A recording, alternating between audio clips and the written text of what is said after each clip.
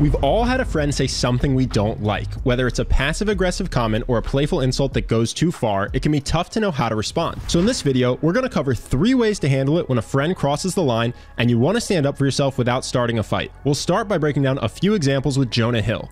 In this first clip, he's reacting to insults made by a paparazzi. It's an example of how not to react. He's publicly apologized for this one.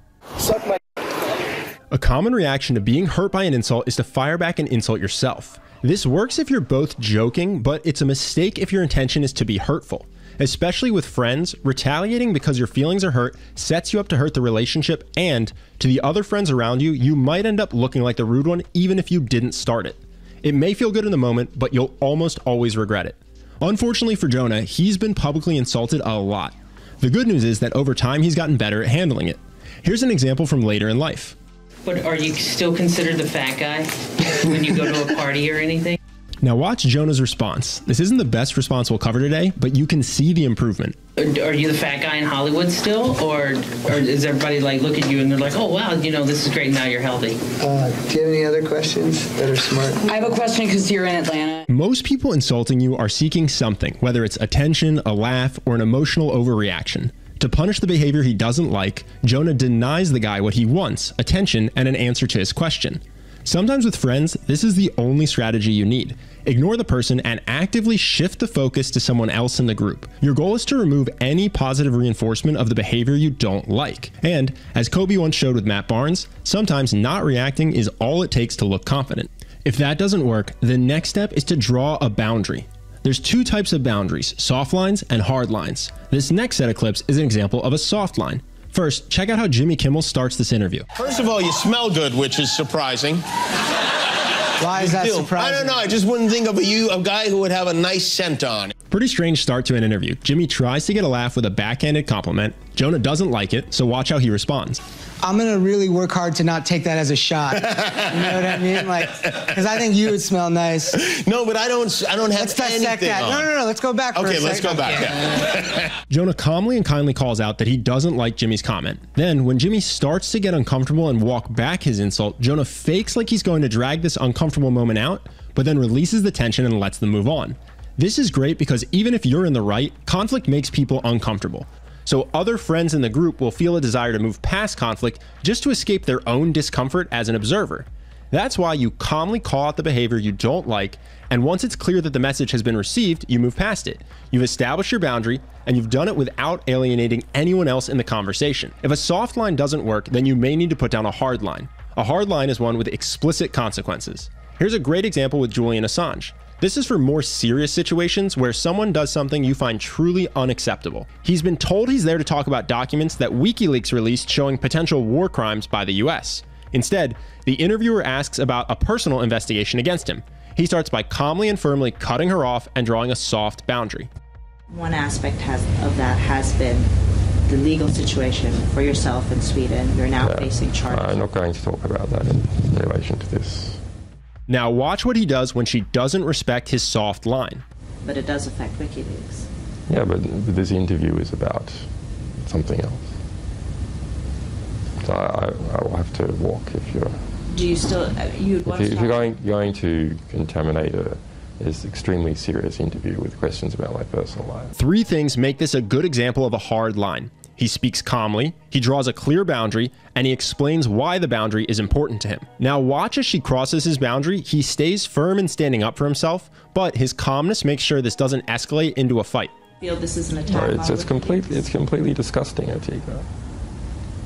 I'm asking whether or not you I'm going to walk if, if you're going to um, contaminate um, us revealing the deaths of 104,000 people.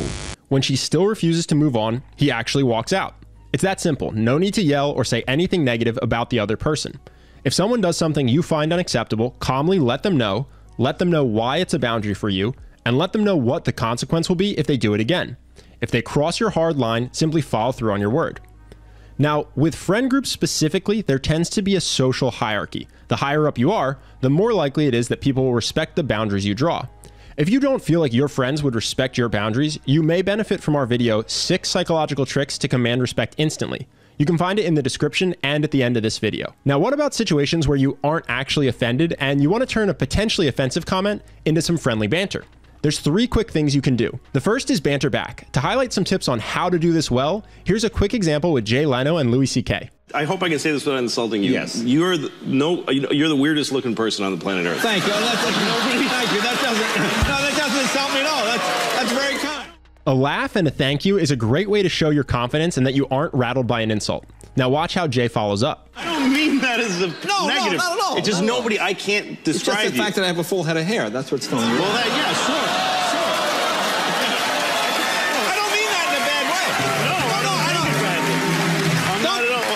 Don't I'm not that hurt the by wrong way. I'm not. You want to match their insult level. Louis started with a negative comment on Jay's looks, so Jay matches it. If Louis had insulted Jay's shirt and Jay had insulted Louis' weight, that's much more likely to go poorly. When you match their insult level, it's more likely they'll react well, and even if they decide they like to dish it but they can't take it, it makes it very unlikely that anyone else in the group will consider you rude. Listen for this as they go back and forth again here. It's just that I just don't have to cover my chin because I'm proud of it. But Jay, no, go. It's not. Jay. No, no, but go ahead. I'm, Jay, I'm sure if you weren't famous Yeah. and you robbed a bank Yeah. and the dude was describing you to Yeah. like a police sketch artist, Yeah. he'd be like, no, seriously, what did he look like? They're two for two on teases, they matched each other's insult level, both laughed, and neither got upset. That's what you're aiming for. Now, what if someone says something potentially offensive and you want to be playful and fun, but you don't feel comfortable saying something potentially offensive back, or you just can't think of anything clever to say? There's a second thing you can do fake offense. As an example, here's a clip with Anne Hathaway. How much uh, weight have you lost to get into this shape right now? You did not just ask me that No, I'm just question. saying, you're like- what a forward Whoa. young man you are. My goodness, I'm how sorry. much weight. I'm not saying you needed to lose weight. She fakes offense, but signals it's not real with a big smile and the over the top facial expressions. This shows you have confidence to not be easily offended, and it doesn't require the same quick wit as Jay Leno's comebacks. When he doesn't pick up on the nonverbals, she even spells it out for him. I'm just saying that you look. I've, t- I've worked very hard to become Selina Kyle. I know you have. Mm-hmm. All right, thank you very much. I'm sorry if I offended you. You didn't at all. I'm just uh, messing with you. Thanks, Anne. If you find yourself completely blanking on anything to say, just being able to genuinely laugh when someone tries to insult you is enough to convey confidence. Some people don't like him, but Brendan Schaub is someone who does this very well. Dude, I don't think a lot of Indian kids look at you and be like, I want to, you know, look like a French Paul Bunyan when I get older. You know what I'm saying? French Paul Bunyan. You look like fucking, Why am I why, why am I French? dude, you look like Paul Bunyan if he just drank champagne all day and never did uh, any forestry. His ability to laugh when people take shots at him is probably why he hits it off so well with comedians like Theo Von and Joe Rogan, and it's a part of why he was able to make a successful career for himself after MMA. Being able to laugh at yourself projects confidence and makes it fun to be around you. All three of these are super simple, which illustrates how much easier it can be to handle an insult when you aren't actually offended. The hard part is developing the self confidence to stay unrattled no matter what anyone says about you.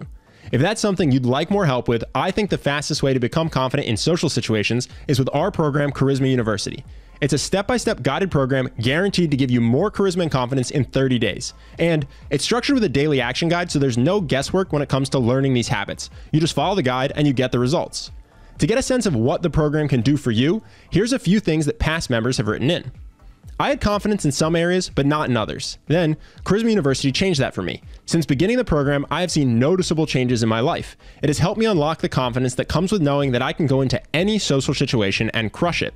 It costs less than half the price of one course at my college, but it has had a far bigger impact on me than any traditional class I've enrolled in. Another member wrote in I've always been bad at expressing myself in situations that weren't one on one. In conversations, I'd find myself hesitant to speak or I'd get caught in my own head overthinking things.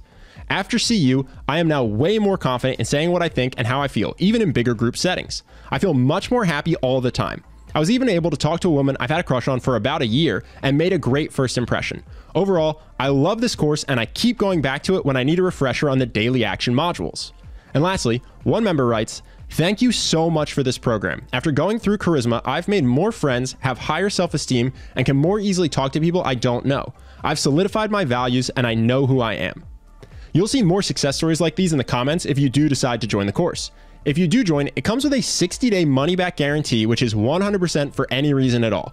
And that's 60 days, even though the course is only 30 days, just to make sure that every single member truly feels like they're getting a ton of value from the course.